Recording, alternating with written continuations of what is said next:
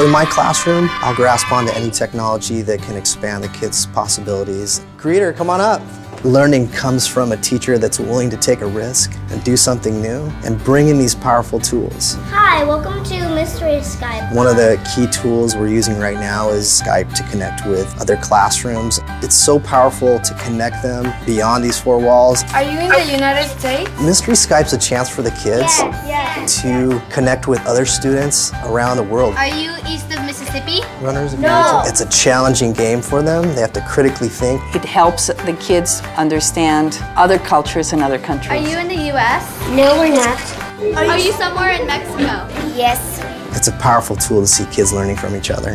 Hey, Mateo, come on over, bring those maps. To see their critical thinking process is far better than any test I can give them.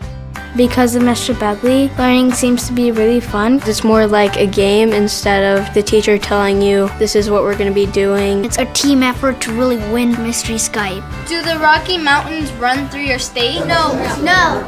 I mean, really, it takes a team to do anything in life. And this is a chance for them to experience that collaboration. Are you in Baja, California? No. You can see those light bulbs going off and just that connection that they're making.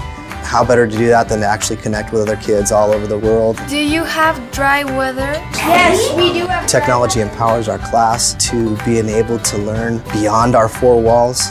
I'm just a passionate educator who wants to make an impact for kids. I'll take risks to try to expand their learning beyond what they could have ever imagined. Are you in Mexico City? Yes, we are.